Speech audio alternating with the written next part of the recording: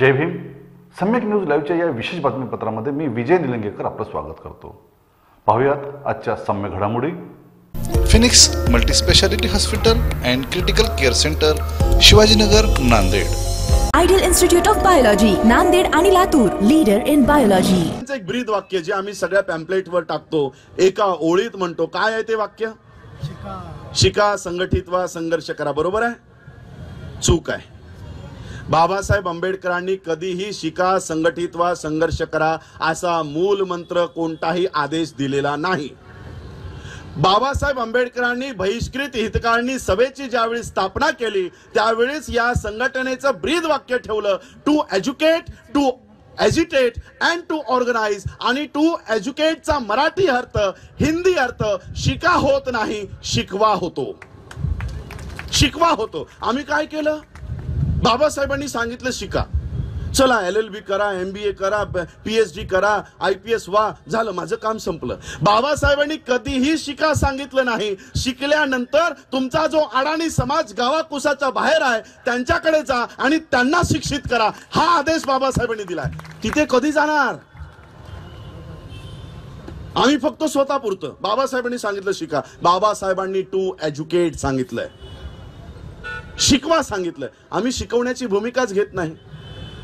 माझं M B A finance झाल्यानंतर मला जापान स्थित माझी नोकरी होती. पण माझ्या नोकरीचा उपयोग काय माझ्या शिक्षणाचा उपयोग काय जर त्या माझ्या समाजाच्या कामाचंच नसेल तर माझं शिक्षण काय कामाचं आहे?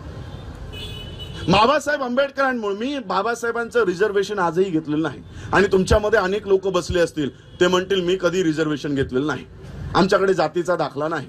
मग ते काय म्हणतात? मग मला शिकवण्याची गरज नाही आहे.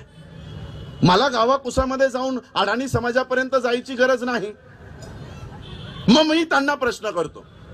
तुम्ही आज पीजी झालात पीएचडी झालात. तुमचे आई वडील किती शिकले?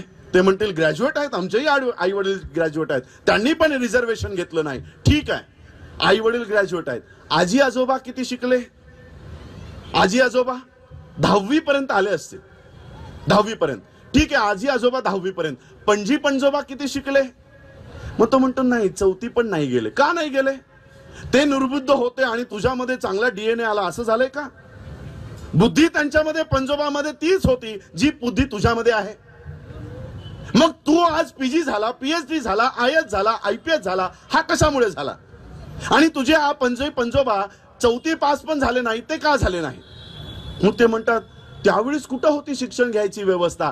हीच व्यवस्था बाबासाहेबांनी उभी केली आणि म्हणून तुम्ही I S I P S झालात जरी तुम्ही रिझर्वेशन घेतलं नसलं तरी हे शिक्षण घेण्याची मुभा बाबासाहेबांमुळे मिळाली.